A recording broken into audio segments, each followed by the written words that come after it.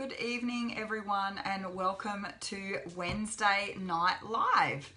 Uh, I'm excited tonight because it's our first uh, evening of doing our show on a Wednesday night, hence the name change to Wednesday Night Live.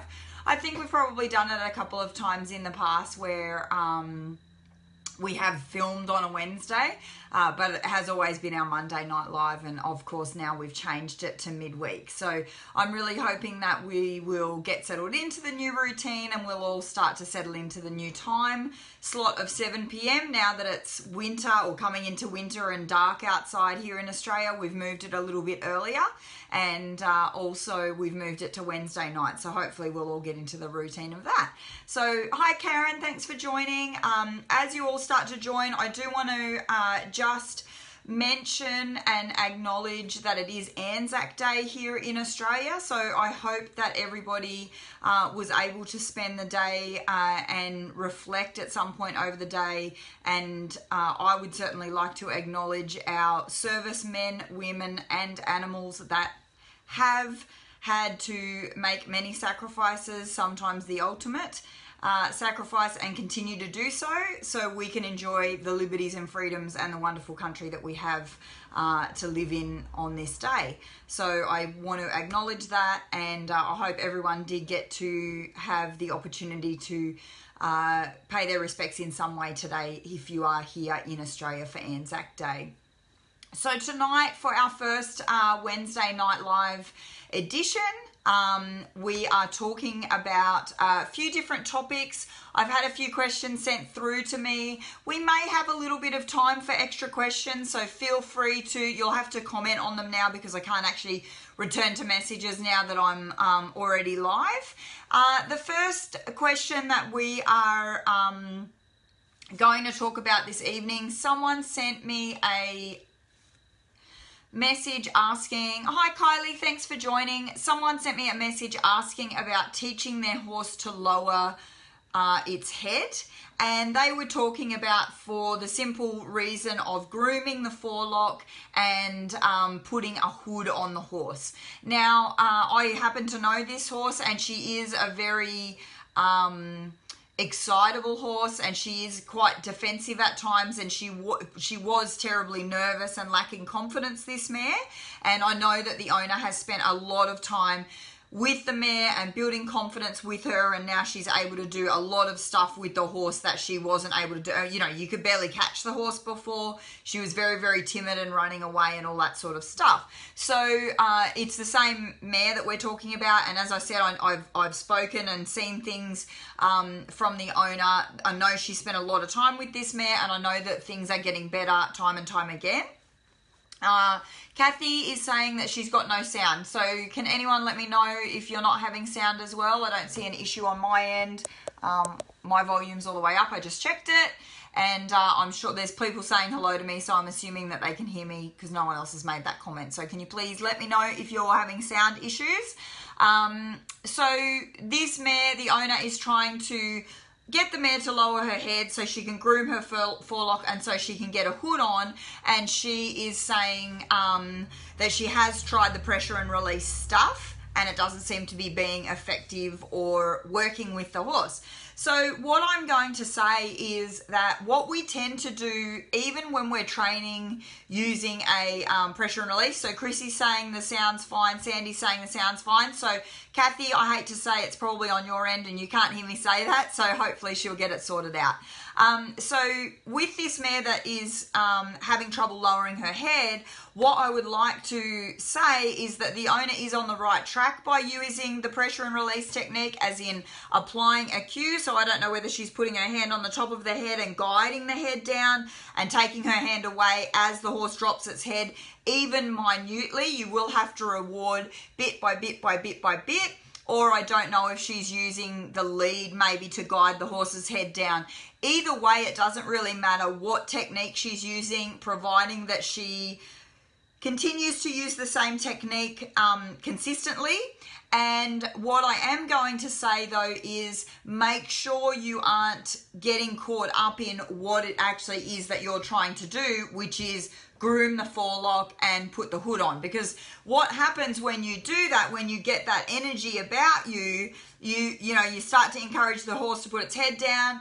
The horse goes i don't really want to put my head down. And finally you know you get pressure and the horse lowers its head and you release and say good horse. And then you say and now i'm going to do this. And the horse goes I knew I shouldn't have put my head down. Um, I knew that you wanted to do something else. So it's going to take um, time and time. Hey, Hillary. Hey, Joanne. Thanks for joining. Um, it's going to take multiple, multiple repetitions with this horse of just putting her head down for the sake of putting her head down without then trying to add something else that you're actually trying to achieve, like putting her hood on and um, and grooming her forelock. Uh, so that's number one is don't get caught up in what you're actually trying to do. Um, try and stay focused on the bit that comes before the bit you want to do, which is actually just teaching the horse to be guided down and lowering her head. So that's number one. Number two is going to be overall building the horse's confidence in general. So when you're talking about a horse lowering its head, you are lowering its head and they do feel quite exposed and quite. Um, um, I can't think of the word that I'm looking for, but the horses do get quite nervous putting their head down. Uh, it is a very insecure place for the horse to be. It's not necessarily other than when they're, they're eating, um, they wouldn't really lower their head uh, to to a real low point because they like to have their head at a point where they can see what's going on. And if you're at a busy place and things like that, and there's noises and things like that happening, the horse is going to want to have their head at a spot where they can look around. So improving the horse's confidence in general overall is going to build the horse's confidence to be able to stay down there um, when you are teaching her to lower her head. So, number one, don't get focused on what it is that you're trying to achieve. Just simply teach the horse to lower its head. Number two, um, build the horse's confidence around other areas. So, this can be any, you know, this can be handling, leading, um, picking up their feet, taking them for a walk around the paddock, doing obstacles with them, doing the ground skills with them, doing building a citizenship work with them, doing anything with them. It's not getting them confident about lowering their head specifically, it's about generally improving their confidence overall. And once they've started to improve their confidence overall, you're going to see an improvement in the willingness to stay down there with their head. The third thing to do with, um, hey babe, thanks for watching. Uh, the third thing to do with a horse um, when you're talking about what it wanting to lower its head or teaching it how to lower its head is um, making it something that is actually uh, comfortable for the horse and and if you can make it something that the horse looks forward to so the lady that sent me the question about the horse not wanting to put its head down mentioned that she thought the horse might not want to put its head down because its ears are actually itchy. So if you can teach the horse that when she puts her head down that you are actually going to scratch those ears for her and she builds confidence around that she's going to be following you around with her head down on the ground because she's going to want to put her head down so you can scratch her ears so if you can turn that around um, hey liz hey navenka how are you um, if it, it Navinka, Navinka, Navenka, ha, it's an internal joke. Um, if you can encourage the horse to lower its head and the horse wants to lower its head because it's going to get something um, that it wants, so get an itch or something like that happen to it, it's going to actually start to present that action to you without you having to fight it all the time. So they're the top three things that I would use in regards to uh, teaching a horse how to lower its head.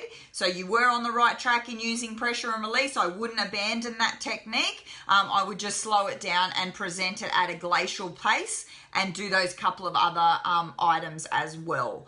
Uh, so the second question that we had sent through to us today, um, and I know that the lady is watching.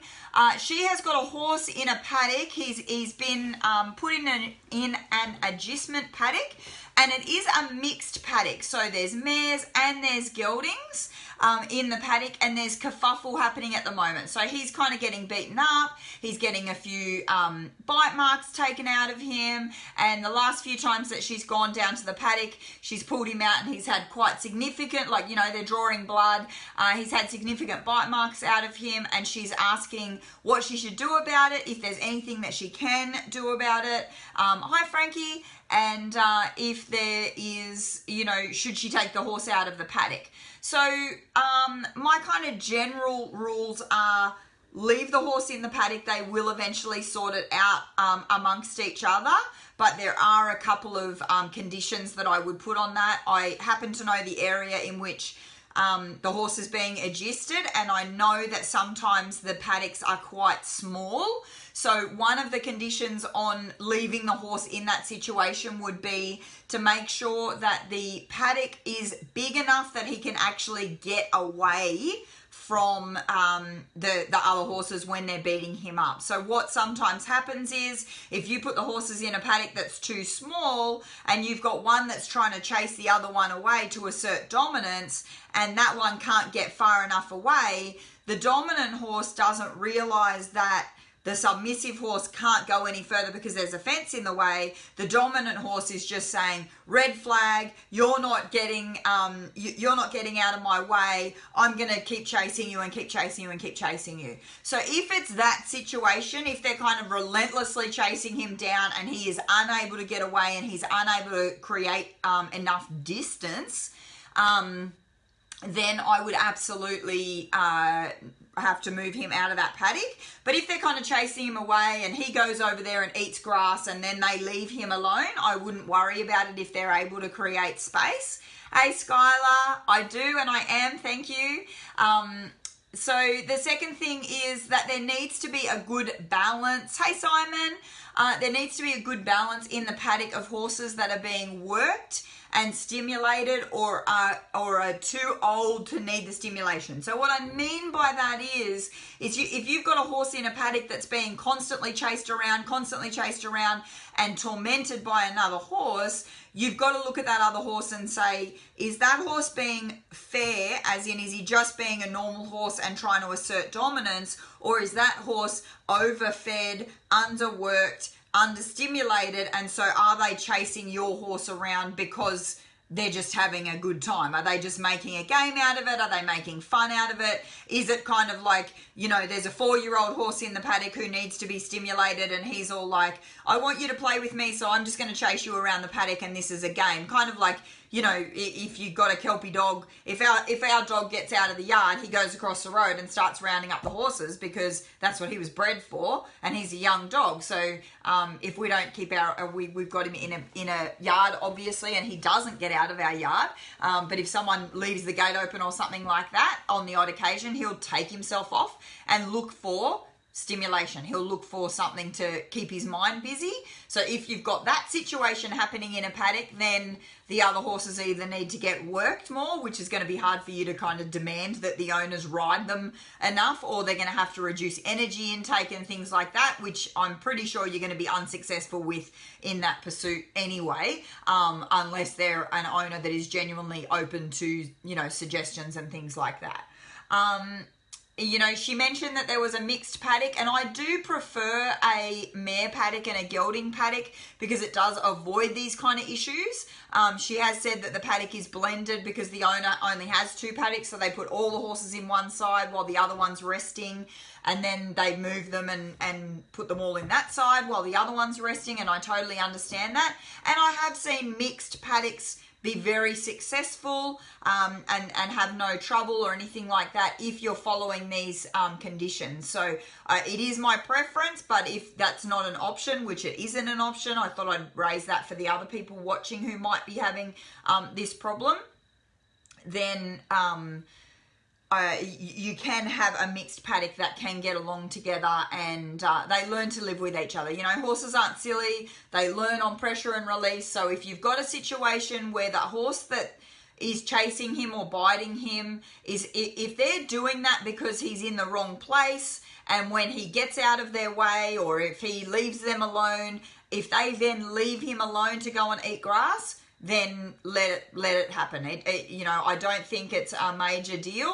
Um, as I said, I'd have to watch him actually being chased to see how aggressive or relentless or anything it is.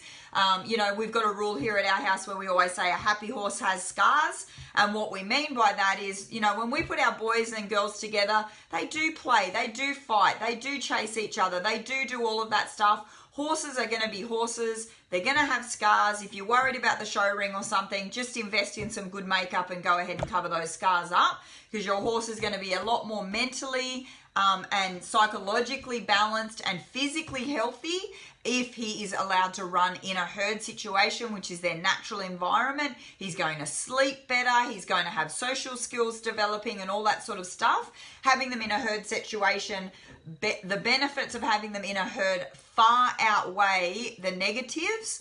Um, of you know a few bite marks here and there and i know that we see it and we go oh my god they're drawing blood but, you know, that's a game, honestly. Our horses bite each other and draw blood all the time, and it is just play. And I have seen the opposite. We've got a couple of horses that cannot go into in the paddock with each other because they will relentlessly just keep attacking each other.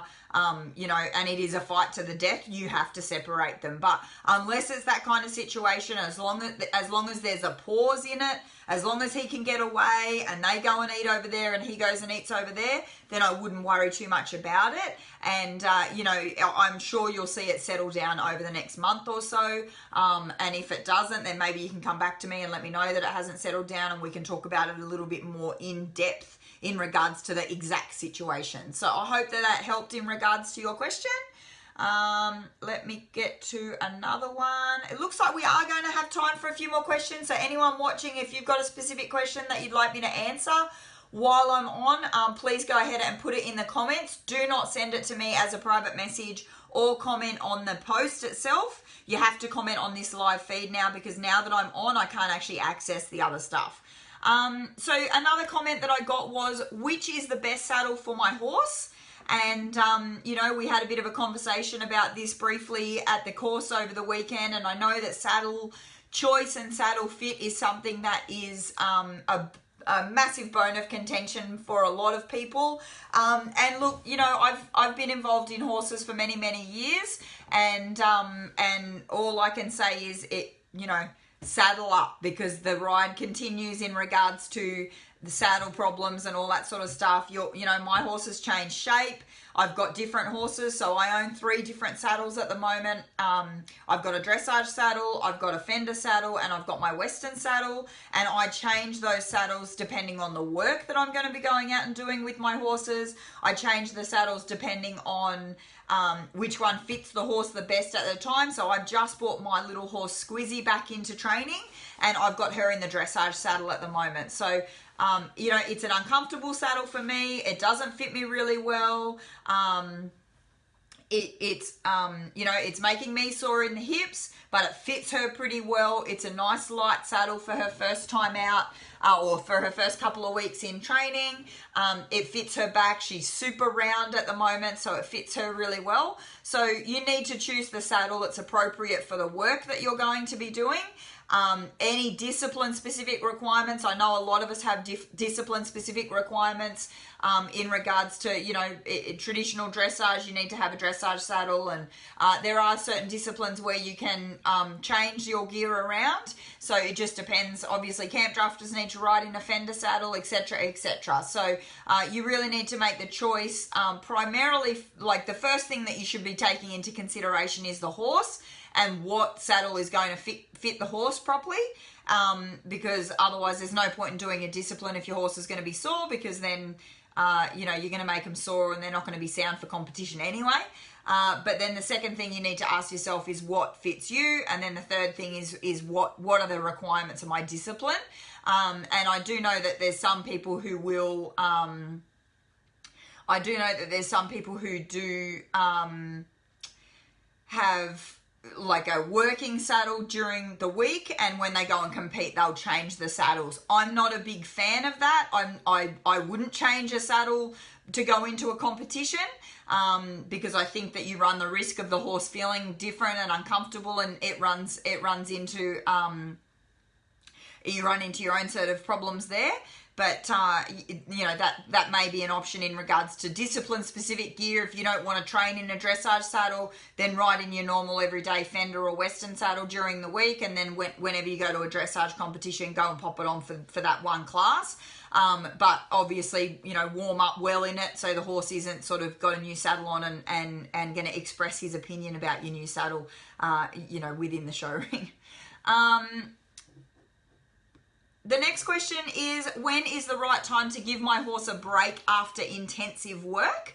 And uh, the reason this question came up is because over the weekend, um, I actually had two conversations with two separate people um, uh, just in regards to they had been doing fairly intensive as in daily work with their horses. They had been doing a daily routine with their horses. I'm not going to say it was high intensity as in workload, but intensity as in every single day they were going out and doing some kind of training or some kind of riding or some kind of something with their horse. And both of them sort of said, Oh, you know, when's the right time to give my horse a break?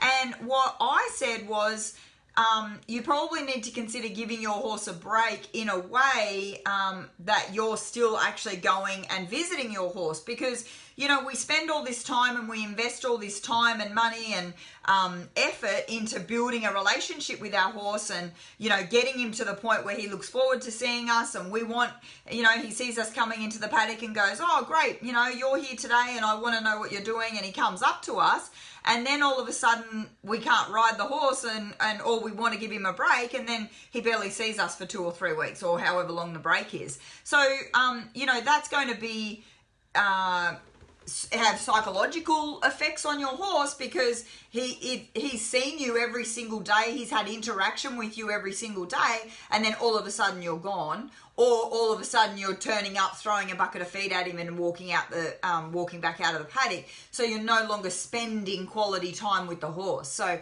i think when you're wanting to give your horse a break from riding that that's fantastic. The horses all need a break every now and then from riding. But i think that um, you need to not give him a break from you because you've just spent all that time building a horse that's used to having you turning up and that sort of stuff. So give him a break from the work maybe, or change the work, or change um, what you're doing when you're spending time with him, but don't actually disappear altogether, or simply, you know, just throw feed at him and walk away and uh, and change the dynamics of the um, interactions that you've been having with the horse. Uh, so I can see a couple of questions are starting to roll in. So Frankie says bit or no bit.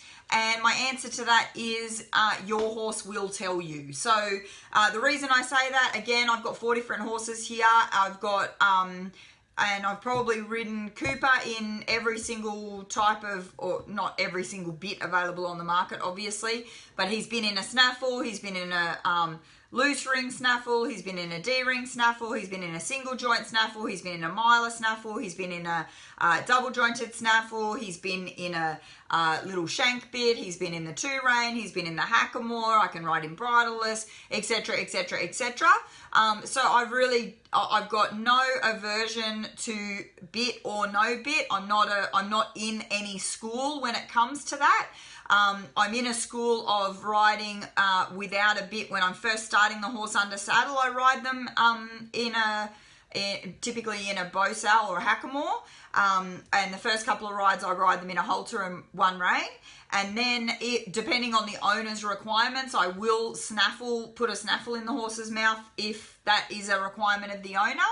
And I do try and all. Um, I also try and um, avoid the horse's mouth with a bit probably up until they're about five years old because there's so much happening in regards to teeth capping and teeth coming through and all that kind of stuff happening. So I really try and stay out of the mouth. That's my personal philosophy. Um, but once they're sort of, I mean, you know, I've got three horses that haven't been bridle, um, that have never had a bit in their mouth in their lives before. Uh, one of them's eight, one of them's 12, and one of them's five. So I'm not saying that when the horse is five, I don't follow the Western school of thought of, oh, he's six years old, you've got to put him in a bridle. I'm not about that at all. I happily ride a horse in the hackamore till the day it dies. That doesn't, that's not what I'm saying.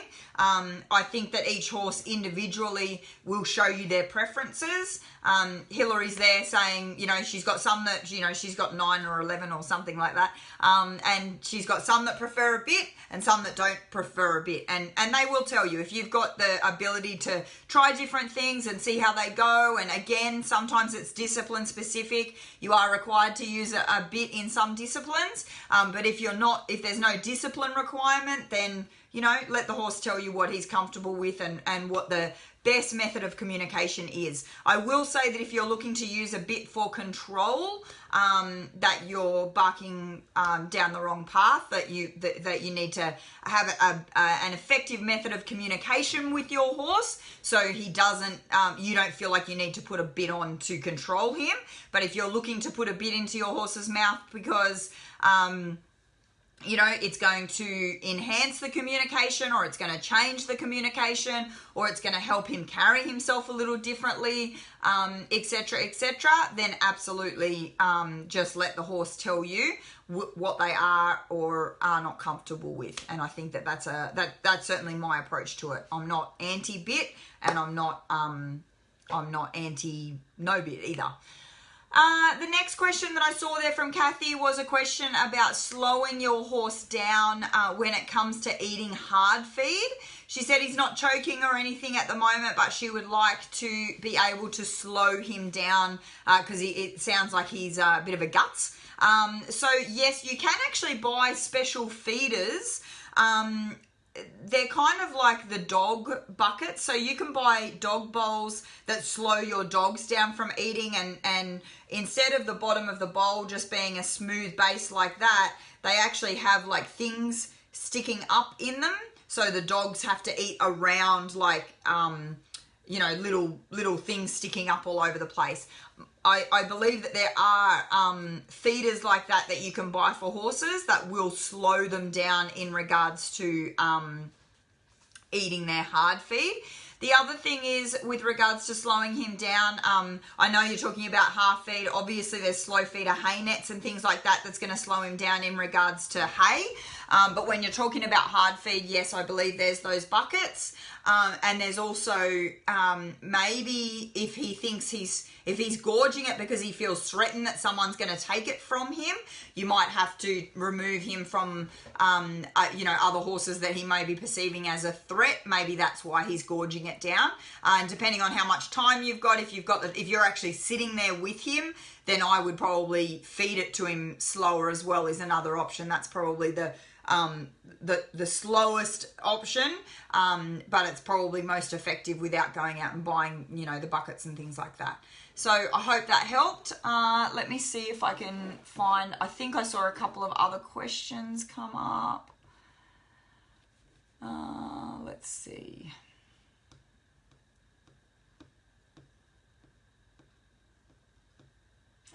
No, I don't think I can get them up.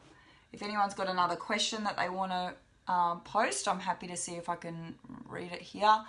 Uh, Frankie saying, I ride mainly in the Hackamore and Bosal, very rarely in a bit, and my girls are only three and a half. Yeah, absolutely. That's that's totally fine. If you don't if you don't have any requirement of putting them in a bridle, then I, you know, I, th- and they're happily going along in the Hackamore, then definitely just leave, you know, leave them in that, uh, leave them in the Hackamore. That's fine. Like I say, my my horse is twelve.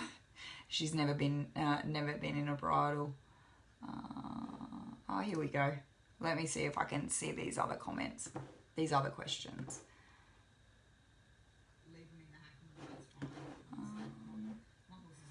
My horse doesn't really like her saddle being put up or any other saddle. Is there a way I can reintroduce it to her so she's okay with it? The fit is fine. So what she's probably doing um, in regards to the saddle, eh, eh, most of the time it's a learned behavior from a horse. Uh, they have experienced pain in the past and... Um, they have experienced pain in the past and they've got a pain association with the saddle. And so, uh, the easiest thing to do in regards to that, and I think Liz, you were at my colt starting demonstration at the Vaquero gathering in New Zealand.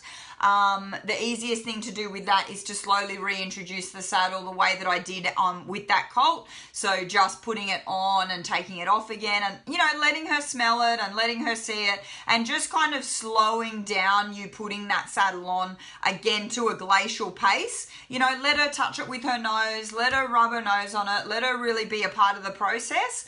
Um, and then once you've put it on, you don't have to cinch it up straight away. Let it kind of sit there and let her relax into it sitting there and then take it off her back again and then go ahead and put it on. So you have to break that pattern that has been established by that horse of, you know, she's, I don't know what she's doing, but she's, um, you know, it sounds like she's pulling faces or something like that eh, um, in regards to the, um, in regard you know when you when you put the saddle on. So go ahead and put it on wait for her to have a happy face and then go ahead and take it off and you know just talk her through it and rub her and things like that and hopefully that'll help reintroduce the saddle to her. Uh, Hillary saying, I have a horse that I'm having trouble slowing down in the trot and the canter. Uh, I, my go to with regards to that, Hillary, is always a balance issue with the horses typically um, you and i know you've heard me say this you know a gazillion times before it's this little kid running down the hill um, analogy that i like to use you know, when the kid first starts running down the hill, he's got control, he's got control, and then there's a point on that hill that the kid loses control and momentum takes over, and all the kid is doing then is putting his feet under his face so he doesn't trip over. So, what typically happens to horses um, is the same thing. They start losing balance, and as they lose balance, they, they get faster and faster and faster and faster, and it's often, um, you know, it can be a physical balance issue, it can be an anxiety generator generated issue as um, you know i'm not sure which horse you're talking about so i don't know how long they've had under saddle or anything like that. Um, sometimes they can get a little anxious under saddle. Sometimes they can get a little worried in in those faster um, you know gaits under saddle. So the initial thing that i would start doing is um, asking for an upward transition into the trot doing four or five slide strides and then bringing it back to a walk and then going back up into the trot, four or five strides, bring it back down to a walk. I know that you do a lot of trails and things like that. So if it's one of the horses that you can take on the trail, I would be doing that on the trail because what what you will create is a horse that's beginning to anticipate the stop or the walk or downward transition. And so as they start to anticipate the downward transition, they start to hold themselves up a little bit more and they start to hold themselves in balance a little bit more and then they can, you know, in preparation for the transition. And then uh, that in turn will allow you to take that trot from five strides to six strides to seven strides and then down and up and down. And um, soon enough, you'll have a horse holding himself in the trot because he's sort of almost starting to anticipate the downward transition. And then you can repeat the um, you can repeat the exercise under at the at the canter. And um, and that's going to help him slow down his canter as well. The other thing that you can do in regards to that or the other benefit of doing that exercise where you're only doing a few strides and then um, coming back down again is that the horse will um, start to get confidence in that the trot and the canter is only a few strides. And so, um, as long as your downward transition is quite smooth, they won't get worried about the downward transition and they'll start holding themselves together a little better and sort of breathing through the trot because they, you know, he could be holding his breath or she could be holding her breath. Uh, they could be holding their breath and sort of going, okay, we're trotting, we're trotting, we're trotting. What you want them to do is go, oh, that's okay, we only do five strides oh that's okay we only do five strides and then you're teaching them to relax as well through the through the transitions and things like that. Okay um what else? Hey brittany! Uh, doesn't like the saddle we've done all that. Okay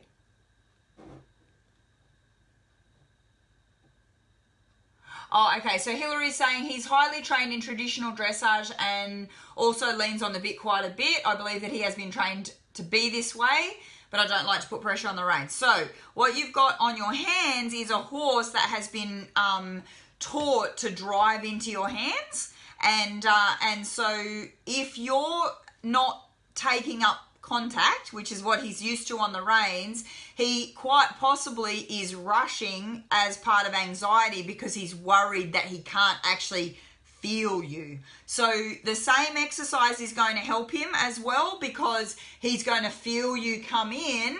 So what you what what we're what I'm basically saying is you've got what you've got on your hands is a horse that's not comfortable with a freestyle rein because he's looking for you. He's going, "Where are you? I'm so used to my rider being you know, there with those tense reins or with that contact on my mouth, and you're kind of throwing him away because you don't want to touch his mouth, but it, that makes him worried because that's well, that's all he knows, right? So you've kind of got to um, pick up that feel, and uh, you could even do the exercise where you pick up the reins, let him feel you, and then just give him back a little bit, and then pick him up and let him feel you, and put him back a bit. And so the downward transition exercise is going to work, and also uh, the exercise where you just pick up contact and then freestyle for a couple of strides, contact, and then freestyle for a couple of strides, and that's going to you're sort of saying, "Here I am, you're okay." There you go. Here I am, you're okay. There you go here I am, you're okay, here you go. So he's starting to go, oh, okay, she's still there, it's just a different feeling. So our our horse was like that when we got when we first got her. One of our horses was like that. And she used to panic when you let the reins go because she had no idea how, you know, how to function that way. Kathy's saying, how long can you do flat work with? Uh, do they switch off after a certain amount of time? Uh Yes, I'm going to say the short answer to that is yes. Um, especially if you're doing um, flat work training for your benefit, uh, for something that you're interested in, and there's no kind of interaction with the horse, and there's no benefit in it, and the horse. And it's hard to explain to the horse what the benefit is, if that makes sense. So it's kind of like taking me to the gym putting me on the treadmill for 30 minutes and saying, there you go, Tanja. You know, this is why gyms have new treadmills where you can plug in your iPhone and you can uh, watch your TV shows and you can, you know, pretend you're running through the forest and all that stuff because it sucks to run on a treadmill and do the same thing over and over and over again. So, um, you know, absolutely horses will switch off. Not only will they mentally switch off, but once the horse gets to a physical point of fatigue, he's not learning anything anyway. All he's doing is waiting for the session to stop, session to stop, session to stop. Um, Kathy's saying she's doing two hours of flat work it's yeah, two look, two hours of flat work in my book is too much, absolutely. Um, if you want to ride for two hours, go on a trail ride. Take the horse to the beach take the horse, uh, uh, you know, over a cross country course. So at least he, there's things that I'm not saying don't ride the horse for two hours, but I'm I'm saying two hours of flat work around and around and around in circles is is is um it's not mentally stimulating, it's not physically stimulating, it's physically fatiguing, um, and it's mentally fatiguing for the horse. So I, I, I don't think there's a benefit in that at all. Absolutely not. Uh, Chrissy's saying Two brothers that were cut late, seven years old, flying in the paddock together. Then a filly was introduced. Oh, oh that's not good. Um, one has taken the mare and fights his brother. I've taken them um, on since this. No handling, no human contact. One brother is nearly finished starting, going great, ready to ride, but now stallion traits still instilled in these geldings, and I don't know if it's safe to paddock either with a mare as they want to dominate them and take them away from other geldings in the paddock and wants to fight them. Uh, should I let them sort it out or is the behaviour too instilled and will not leave them?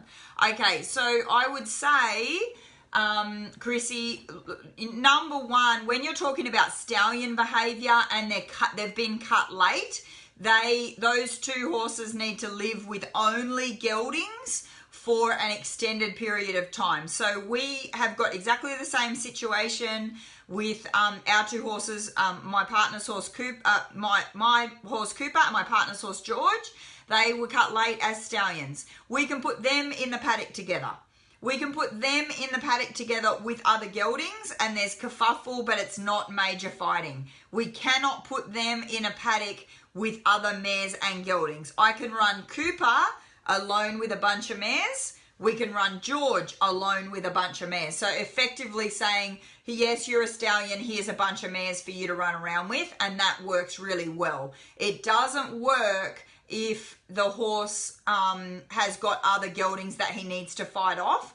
Once you've got them started under saddle and they're going well and they're being stimulated in that way, and once they've been running as and and the bigger the herd of geldings and the bigger the paddock that you can get them in, the better because they'll soon um, when there when there's only one on one, there's a lot more stallion behavior happening between the two, and they're still sort of behaving like stallions because. Uh, you know, they're fighting each other and they still think they're stallions. Whereas you put them in with a couple of old geldings, and the old geldings are going to be like, You're not stallions boot, you know, uh, and they're going to get they're going to develop social skills because the problem that you've got with these two horses is that they don't have social skills either because I'm assuming they weren't they they weren't run in a herd because they were stallions, so they were run in some kind of obviously with each other or they were left alone. So you've got the you you've basically got horses with no social skills who still think that they're stallions even even though the testosterone is um is taking it out. So um, that that would be my suggestion. So you need to only put them in the paddock with geldings and make sure it's a big enough paddock and preferably geldings that are going to dominate them a little bit because at the moment you've got two boys who's bit too big for their boots, but I wouldn't remove any mares from the situation.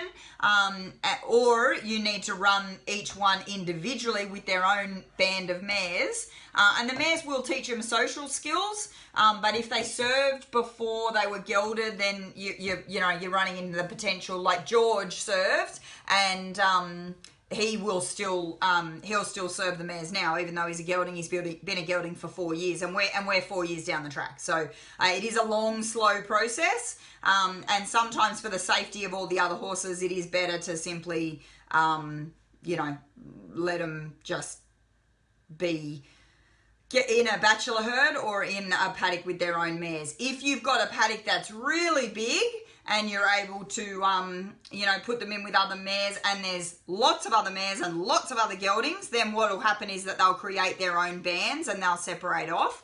But um, if if the paddock's too small, or if the other horses try and argue or fight with them too much, then you do run the risk of damages occurring while that while all that gets sorted out. So I hope that that helped. Um, Jane saying to add to Hillary's question, my horse is a little too rushy. I find it difficult to slow my rising to the tempo I want to, and I tend to match him. Any good tricks? I've tried this so much, and instructors keep saying slow your rising, but I try and try, but to little success. Um, so the same exercise will help you as well. So only doing four or five strides and then coming back to the walk, four or five strides coming back to the walk, four or five strides coming back to the walk. Um, because what I'm what I'm going to guess is happening is as you start rising, the horse is actually building in his speed and you get faster and faster. It's not like from rise number one that you're immediately going faster. So that exercise is going to teach him to come back to you. Um, and and bringing him back to the walk is going to teach him to come back to you as well because then as soon as he's rushing, you're saying no, we're going to walk and trot again. No, we're going to walk and trot again. No, we're going to walk and trot again. And so he's going to start to anticipate the walk and hopefully balance himself. Um, he's going to help, uh, he's going to balance himself and slow down and manage his energy a little bit more. Um, trot poles can slow them down. Uh, if you've got well placed trot poles, that can tend to slow them down because they're trying to negotiate the trot poles. That can really help. Um, the other one that you can try and do is rise for two, um, rise for two, sit for two, rise for two, sit for two, or you can go into the sitting trot and uh, and manage the speed there in the sitting trot. And I'm also going to say that when um, when you're trying to slow your rising, make sure that you're breathing um, slowly as well, because what we tend to do is match them in breath, and so we start to go, and then we're rising really fast instead of going and really holding the space there. So I hope that helped. Um, and I think we're just about coming to the end of all the questions. So that was a really good session. I really enjoyed it. Thank you so much for, for joining me tonight on our first Wednesday night live. I really look forward to seeing all of you guys next Wednesday. Uh, now, I am heading to the Northern Territory for three weeks on Monday. Um, whether I am live next Wednesday, I don't know. At this point in time, I think I will be live. Um, but if there seems to be a problem in regards to um, Wi-Fi connection or something like that, I will have pre-filmed them, and they will um, they'll pop up live. Um, oh, you know, at the seven o'clock time slot, I will pre-film them, put them on my YouTube channel, and they'll go live at seven o'clock on next Wednesday. Um, and if I have to pre-film them, I'll pre-film them for my entire trip, and uh, and then I look forward to seeing all of you guys live when I come back again. But uh, in the meantime, I hope that you have all enjoyed tonight's Wednesday night live. I hope that I am here live next Wednesday. Uh, thank you so much for joining me, and I hope you have a great rest of the week. Talk to you all later.